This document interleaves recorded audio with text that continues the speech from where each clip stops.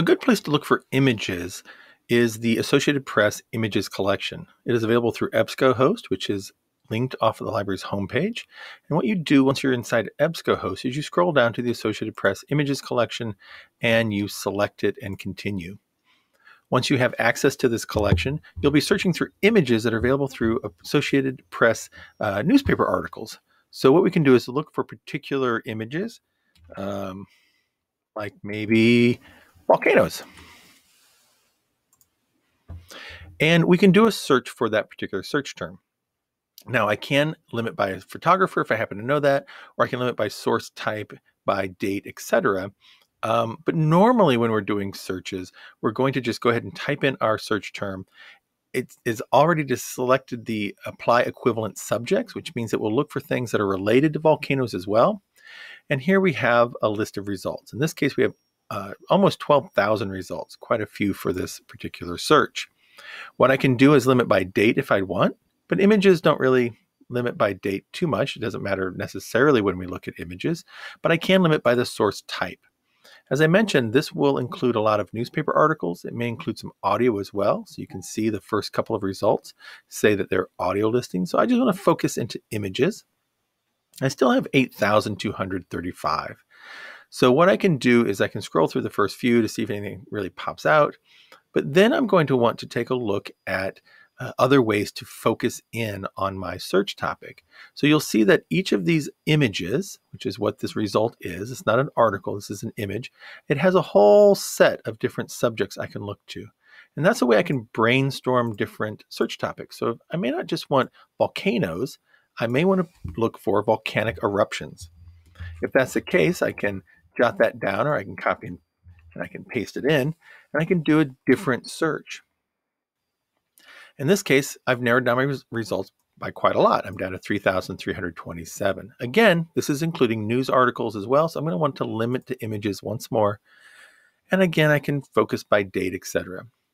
So what I'm going to see um, as a list of results, you'll see number two, three, and four all have the same title. That is because within this particular article about this uh, Germany airport volcanic eruption, there are at least these three images associated with that article. They'll, they're all given pretty much the same subject descriptions natural disasters, accidents, and disasters, etc.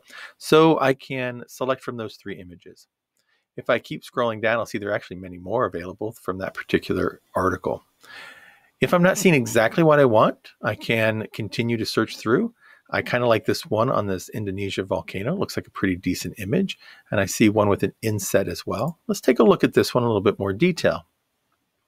What I'm seeing is a volcano with, uh, looks like some sort of flag behind it. So if that's an image I think is interesting, I can look down at the description. It says it has a, a flag texture on the back. It's a partial graphic. It comes from the Associated Press, and it's a print graphic. So it's not necessarily just a photograph, it's been uh, graphically altered in some way.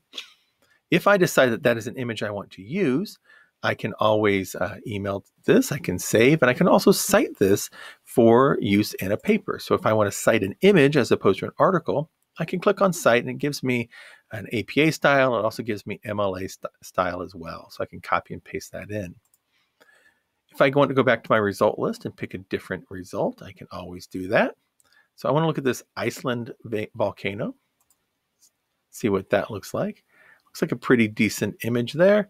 It is again sort of set into a graphic behind it.